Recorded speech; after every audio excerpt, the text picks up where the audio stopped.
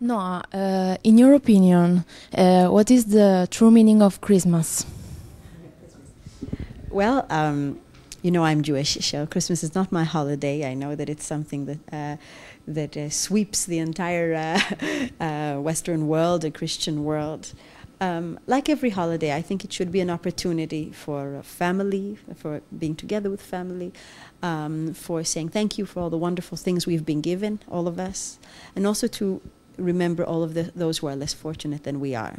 Uh, this is a very important part, not only of Christmas, but of every holiday. Whenever we are happy, we must remember that there are others who are less fortunate than we.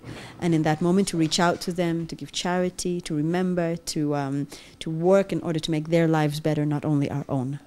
Uh, love is the inspiration for your song, for your music.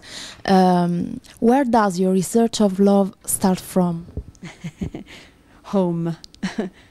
home is the best place to find love, to cultivate love, to um, to uh, understand love. And I've been very blessed to have a wonderful family. Not only my parents, my brothers and sisters, my extended family, also my beautiful children. I have three children and a, and a wonderful husband. I've been married for almost 20 years now with a doctor and uh, and then my, the, my, work family. We're also like family. Musicians I work with, the people I work with around me, we're working together also almost 20 years now. We've become like family. So that's a great place to find love, very close, and from there, spread it around.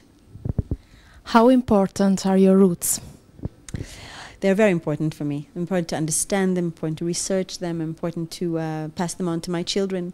But then at the same time, I'm I'm not obsessed with with them. I like to understand other people's origins as well, and to float like a butterfly from flower to flower, and to see different things in different different places. Uh, this year, in 2011, I will be releasing an album of Neapolitan songs called Noapolis. In that sense, I'm researching somebody else's roots. They're not my roots, but I'm I'm a guest in somebody else's uh, culture and somebody else's beautiful tradition.